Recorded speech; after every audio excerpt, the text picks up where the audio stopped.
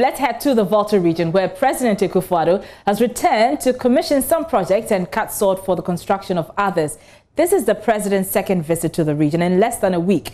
A while ago, he cut sod for a 10.5 kilometer Sokode to Adaklu bypass, uh, bypass and uh, UHAS internal road. Well, the construction work, which has been awarded to the First Sky Group, is expected to be completed in 24 months. Ivy Setordji is our Volta regional correspondent.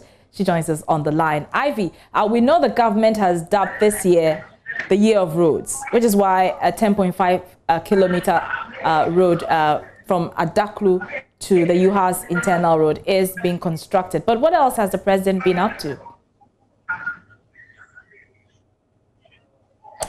Hello, Ivy. If you can hear me, bring us up to speed on what the president has been doing.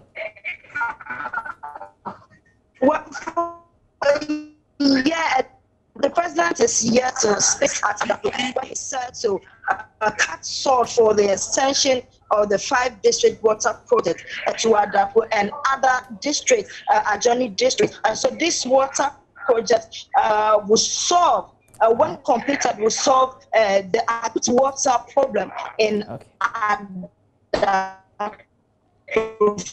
for decades having some challenges uh, with uh, her line there. Well, earlier, Minister for Roads and Highways, Kwesi Amoako-Attah, pledged that in four weeks, 826 roads projects, uh, road projects would be done in the region. The minister who was addressing the media ahead of the president's tour of the region noted that every region is getting its fair share of the roads construction. According to him, the NPP-led administration met already deplorable roads uh, and this made the president concentrate on the construction of roads across the country.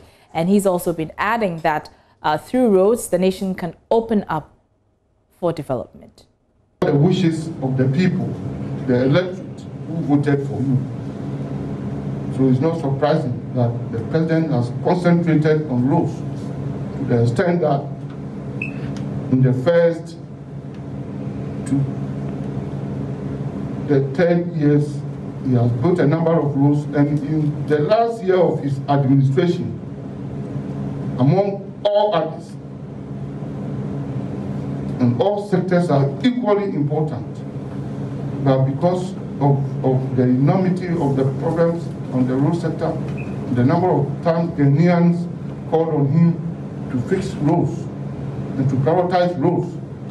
He wanted to show respect to the good people of this country by singled out roads and declaring his last year of the first term and dedicating it to roads to honor the good people of this country for their call.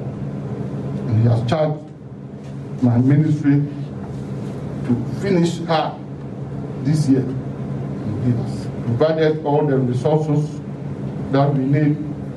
That's why we are also crisscrossing the country make sure that we bring a number of the road projects already started, depending upon their duration.